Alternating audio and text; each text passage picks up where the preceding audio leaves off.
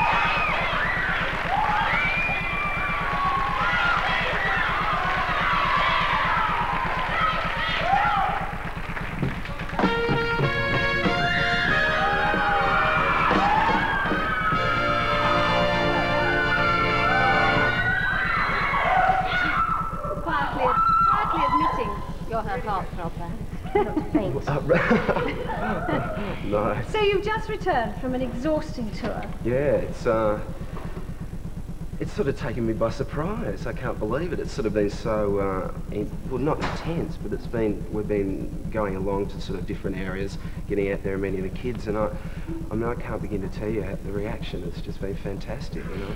And it's not like that in Australia. Well, I mean, it, it is and it isn't in some ways. I mean, you don't get the fanaticism as you do in, in, in uh, Britain, obviously, because it's got a lot to do with Neighbours as well, which is certainly peaking, I guess, here. Um, and Neighbours has been on television in Australia for like four years or yes. five years. But it's also because we gave birth to the Beatles, you know. I mean, we know how to treat our pop stars. Yeah, well, I think you do, actually. I think you, I think you do. you certainly made me feel special. I What's mean... all this about breathing in jars? well, I don't know. It's, uh, I think you could blame Rick Sky from The Sun. I think it's, that's his idea, not mine. I, um, I don't know too much about that. I certainly didn't breathe in too many of the jars, so I don't know what the whole story behind it. It was funny actually, we were at a certain place, I think it was in uh, Liverpool, and uh, there was this fan who was just going crazy, and I sort of sat her down and said, you know, come on, calm down, calm down. And she brought along a jar with her, and I, and, and I thought, oh, that's a bit funny. And then she'd put my name on the front of the jar already. So she said, well, can you do me one favour? Can you do me one favour and just breathe in the jar? And I said, okay, I'll breathe in the jar, just calm down, you know. So, so I did that and she was okay. But can you remember yourself in your youth? I mean, did you uh, sort of lust after some pop idol or did you stand and wait in dark corridors for them? Um, I, I remember days when, um, I feel quite old on this show. There's at least, you know, four or five year olds and you're 17? 16. And you're 16. 21 And I'm 21, Thursday. yeah. So, um, no, I, I was a fan of uh, Kiss, actually. I remember used to sitting up there and, and dressing up in uh, those big high-heeled boots and standing at the front of the stage, pretending I was Ace Frehley, you know, on the guitar, you know, doing that, that thing that, that Gene Simmons used to do. But, I mean, that's, that's, I think, the thing that most people sort of miss, you know, is the fact that this, the television and singing and music is so mysterious because you only see what's up there, you know, and behind it there's a personality and a person that's quite normal like everybody else. Mm. But because of that image that's created, and I'm a fan too, you know, I, I, I mean, I, I was sitting at the uh, the Dominion. We did a show the other night, and uh, there was Robert Palmer who was sort of sitting on, the, and he started to strum his guitar, and I'm like going, wow, you know, this is insane. I wish I could just hand over a piece of paper and get his autograph, you know. But it patently hasn't gone to your head, the fame and the stardom. I, I gather that your father has been worried that it might and thinks that you ought to think about giving it all up soon. Well, Dad's, I mean, Dad's been very um, influential, I guess, in my career because he's been around a lot, lot longer, I suppose, than I have in that sense. But he, he was always worried of me at the beginning, not so much now, that it's so insecure and that people's tastes change. And it's like anything, everything sort of changes and moves along. And like that sort of to artists and, and so does acting or whatever. And he didn't want me to be in a position where I sort of building my hopes up to something, then all of a sudden I'd be let down. But I, I think I've been around him enough to realise that, you know, you can be up there one minute and down the next. And, and I mean, in Australia, for example, actors have sort of got like 99% unemployment as Mm. opposed to 1% employment. So I'm very lucky. But if you do fall from the pinnacle where you undoubtedly are at the moment, you can always go back through the door of Ramsay Street. They left it open. for Hey, they've left it open for me. I can walk right back in there and see Charlene and, well, not see Charlene. And all the other characters, yeah, no, it's, it's been left open. It was sad to leave the show, but it was time to move on. The likelihood of that happening is, I suspect, remote. Well, at this stage, yeah. I mean, the singing obviously has become uh, become very important to me at the moment, and I'm sort of planning to move, uh, promote the album more in that sense. And you're going to the States to Yeah. see if, in August to see if the magic works there. Fingers crossed. Who know. knows? Yeah. You were quoted as saying somewhere that you wanted to live here in London, that you quite liked it around here, is that right? Yeah, I do. I mean, uh, my my parents and my um, my family are from Britain. I mean, I've, I've been very lucky. I've got a UK passport, so I can sort of. It's quite handy when it comes to customs time. You can sort of just walk through and walk in and out. He's one of us. Yeah. I don't know whether that pleases anybody or not. Just, just I'm little- embarrassed now. um, yeah, so it's. Um, I haven't made any definite plans to settle here, no. But I think it's to, to quote the old cliche, I still call Australia home. So.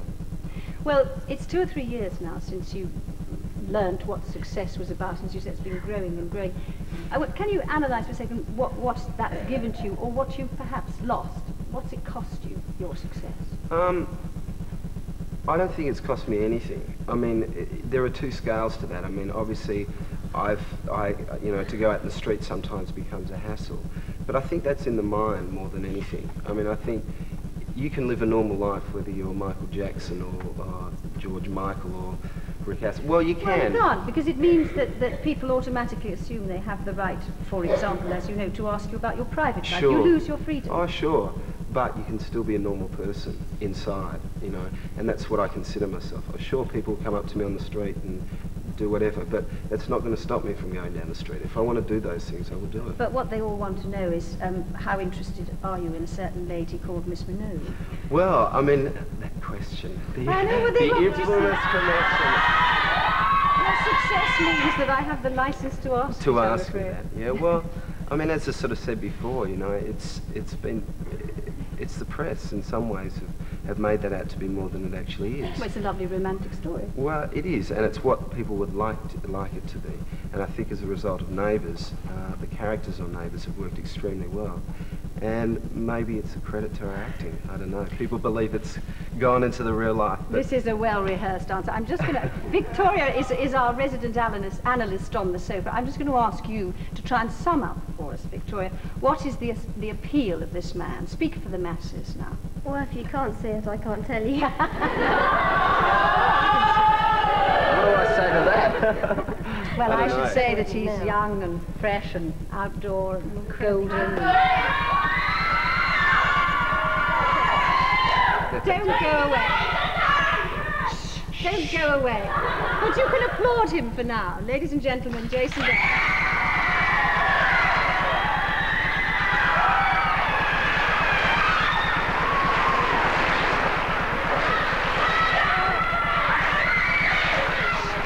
you're lucky, if you're lucky, he may yet speak again.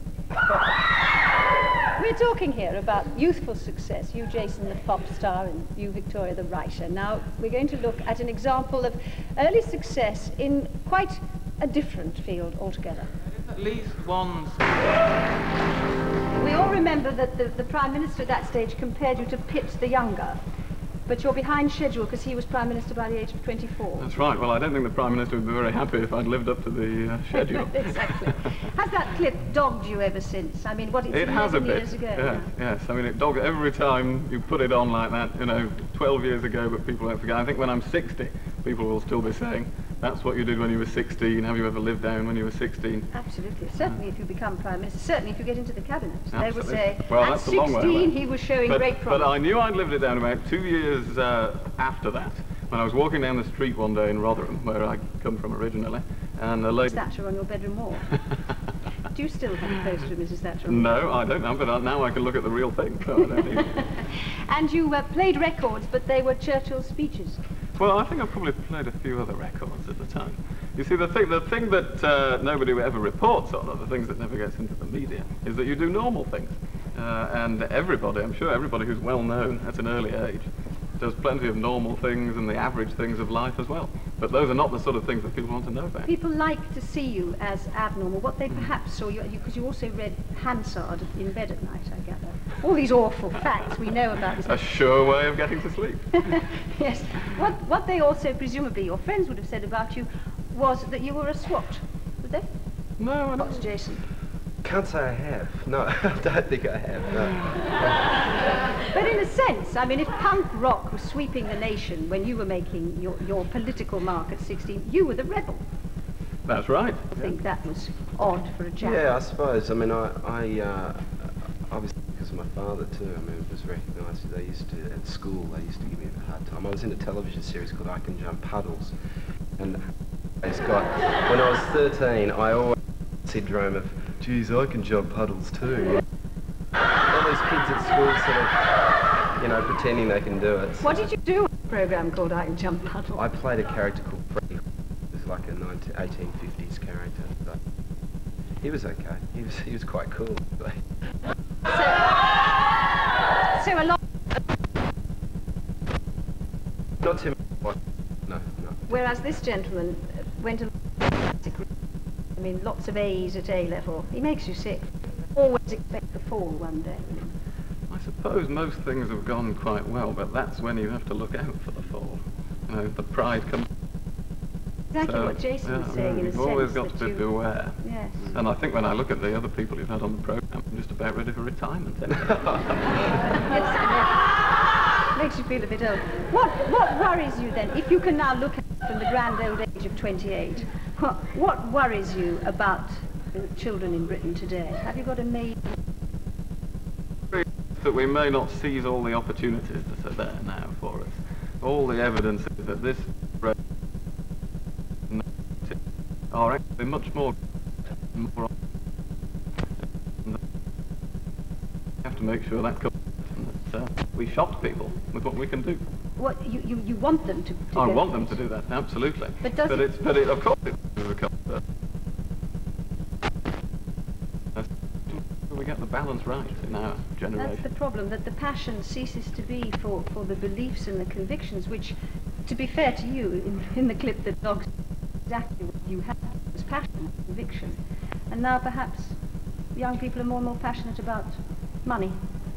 Yes, which can be a healthy thing. It's uh, you know we should never be told that it's uh, it's better for everybody if we're all poor and don't worry about money. But we do have to make sure that uh, we recognise that we need to share it out a bit. Right, well, we shall put this theory to the test. But uh, for the moment, William Hague.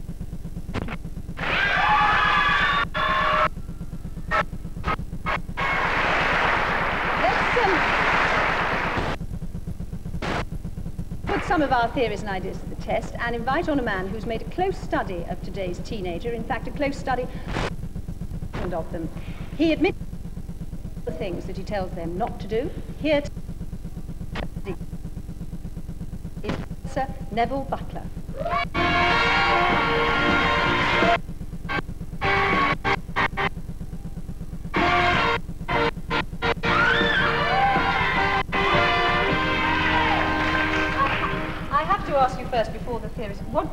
That you tell them not to do? First, Sue, I would say follow that lot. We've had young, we've had uh, Victoria, we've had marvelous Jason, and we've had. Now, we have a, a, a nona, no, not nonagenarian, a sextagenarian is third childhood. and I'll tell you, uh, I've been going around for years uh, telling young people that they shouldn't smoke, they shouldn't drink too much, um, they should take plenty of exercise, they shouldn't have too much stress, um, and, um, for, and they too much saturated And fat, too much fat. they'll have. yes, uh, sadly myself actually love cream and cream. So you I, do all I, that? I drink, you know, and I, I, I don't smoke, but I don't take much exercise unless I'm running for a train. I'm known as the late Professor Butler quite often, um, and uh, I have lots of stress on lovely programs like yours. Right. The stress factor is going up fast. Answer the first theory that William was, or, well, I was helping him put, I think, to an extent, that, that not that he needed my help, but I happen to agree. That, that teenagers today care too much about money and things material. Well, I think if we took out my four marvellous companions here, I think I bring a breath of difference here. Um, they, uh, they don't care, um, not enough, as it were. I think what teenagers uh, want in life is uh, a, an interesting, happy, uh, productive sort of job and life. Um, they're worrying much less now about money and about the more practical things. Oh, about a third of them say they do they want a job that's well paid, and so do the others. But I think it's a different atmosphere now. So they don't worry quite so much about money. Well, there you are, you see. We're out of touch. Yeah, well, I'm not sure that's right. I mean, if you go around the universities now, they're actually much more serious places and more concerned about the career that they're going to get into than they were 10 years ago, when we all went to university and thought, well, it'll take care of itself. Oh, in those days, you could all afford to go to university. You gotta- many people can afford it today. But a, a good career, and if you can steer yourself into a good career um, and something that you enjoy, happiness is going to come from that, and money's going to come from that in some ways. So the job is very important in that sense. Yes, you need both. You Yeah. need job satisfaction and the money. What about, Professor, teenagers? What are they most frightened of today? Well, we asked uh, my 15,000 uh, teenage companions who are just tw- uh, 19 years of age last month. We asked them what were the things they were worried about, and three things stood out. One was famine. Where this was three years ago when they were 16, and Band Aid and Ethiopia was uh, high in their minds, I think. The second was the employment problem that we've been hearing about. And the, the, the third thing um, was violence, terrorism, um, and violent behaviour and mugging. And mugging. Do, is there a pro- such a problem, Jason, in, in Australia? I mean, is it mugging Um, a- well, I mean, it is to a certain extent. Uh, we obviously don't. I mean, I think I remember the last problem we had was like a, a massacre, which was unfortunate in the centre of Melbourne, which has never been seen before. And that was well, not a massacre. A, a guy went down and shot people. Yes. And I mean that concerns people. But when you come to a country such as this size, you don't realise it's the population that creates that, that problem. I think in some ways. What do you mean by that? Well, obviously, it's 16, Australia's got a country of a population of 16 million. Here, I'm, I, I estimate 60, maybe more.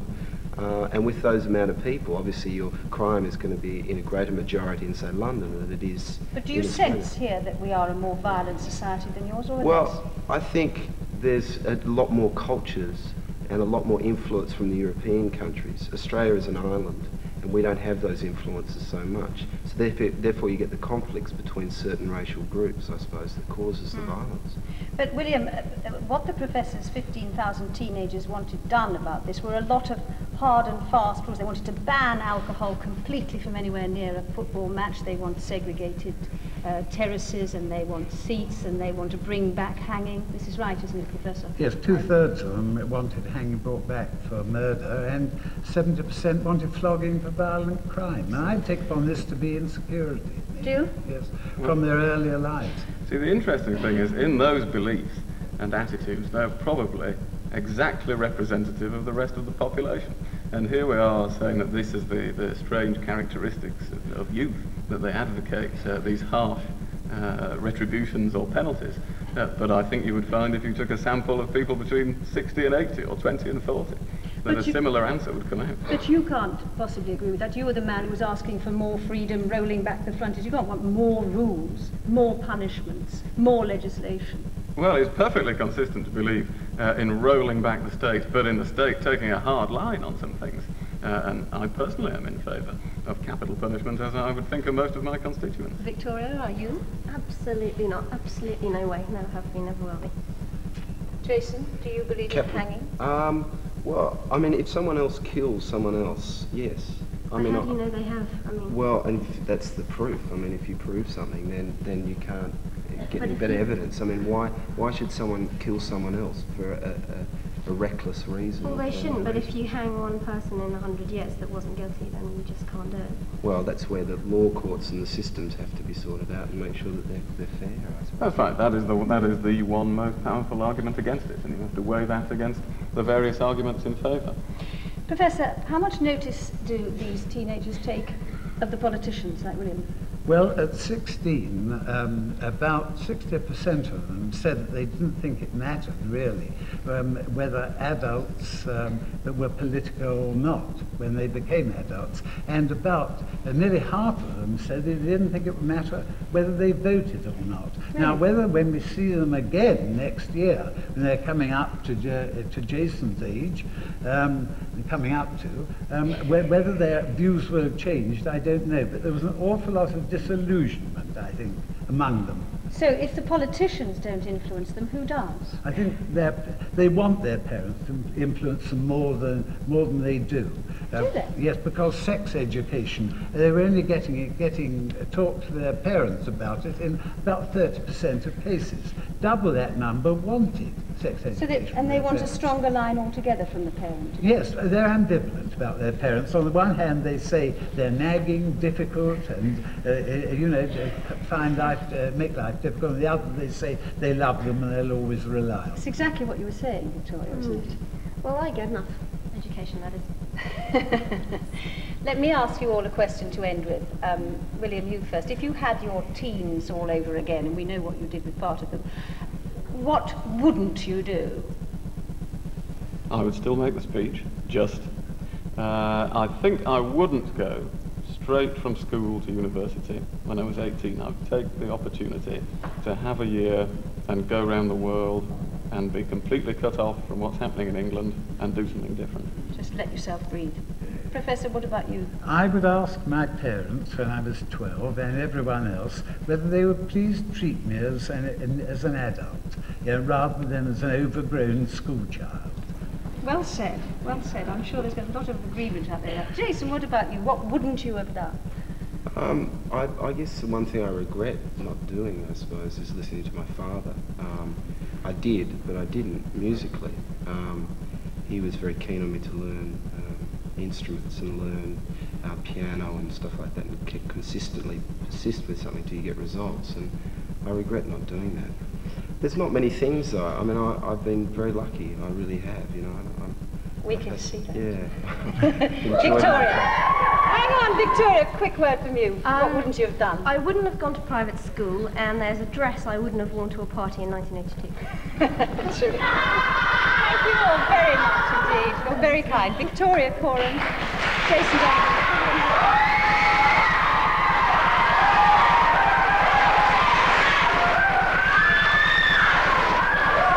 Thank you very much indeed. Thank you. I'll be back on Friday with Thora Hird, Julie Walters, Cliff Richard, and the Archers. Not all of them. Till then.